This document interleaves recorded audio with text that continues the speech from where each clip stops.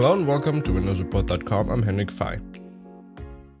The reason that might cause the DNS system error are various, but we will try to address the most common ones by explaining the methods that in this video. By following the guidelines from this tutorial, you'll be able to learn how to resolve the Windows your DNS server might be unavailable error message with ease, so don't hesitate to check the same. So how do you fix your DNS server might be unavailable error? The first solution could be very quick and easy fix.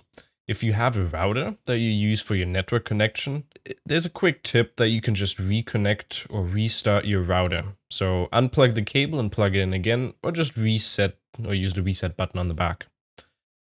The second method is to uninstall any security program. So if you have any installed, you can remove those and see if that fixes the error.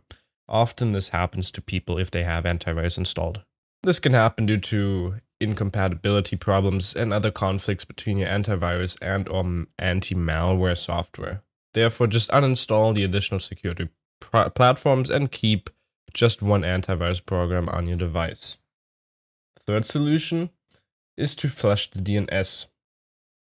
In this way, you'll make a new request for a new IP address from your ISP server and this might just resolve your network issue.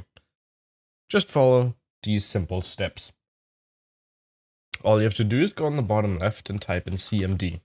Right click on it and run it as administrator and press yes. Now once you're in here, all you have to do is type in ipconfig forward slash flush DNS and hit enter. Now you've successfully flushed the DNS resolver cache. Then type in ipconfig forward slash release. Hit enter. Now type in ipconfig forward slash renew and hit enter and then press exit. If the issue still persists, try to reset your TCP or IP using the netsh command. All that you have to do again is type in cmd, right click on it, run it as an administrator, and press yes. Then once you're in here, all you have to do is type in netsh int IP reset and then hit enter. Once that is done, you can close it and hopefully this fixed your issue.